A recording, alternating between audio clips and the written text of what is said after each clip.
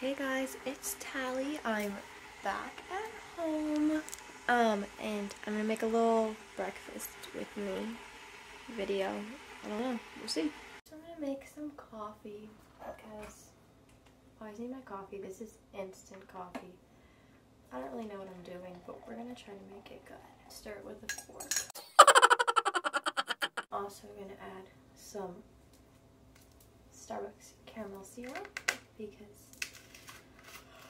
caramel is good. I'm trying to like DIY Dunkin', you know, save some money. I don't really know how much, but we're gonna see.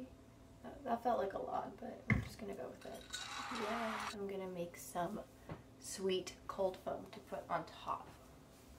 Add some milk, some vanilla syrup, also Starbucks brand, not sponsored. Beat it. A little bit of milk, sweet cold foam on top, which is also just milk, but there is the finished product. Breakfast or brunch, lunch, I don't know. I'm making some Trader Joe's pot stickers because why not?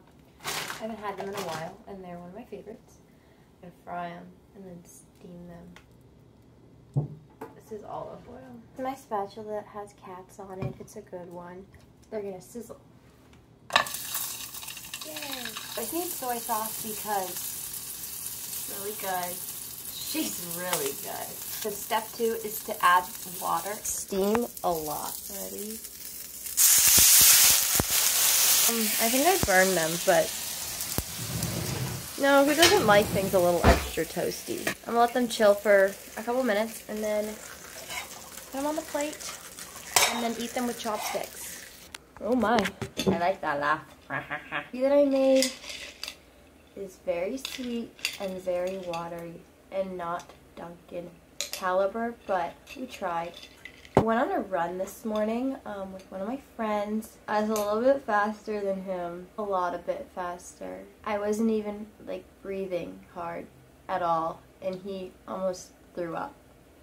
And we had to stop a lot, but you know, getting outside, getting up early, it was still nice. It was really pretty out. The sky was just turning pink, so that was fun. Hey girl. See, this one's a little burnt. Anyway, always important to start your day off strong with a good meal. So, here we go.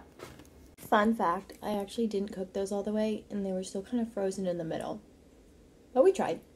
That's not a tutorial. Don't burn and undercook them. I'm Radio Rebel. Peace, love, and pixie dust.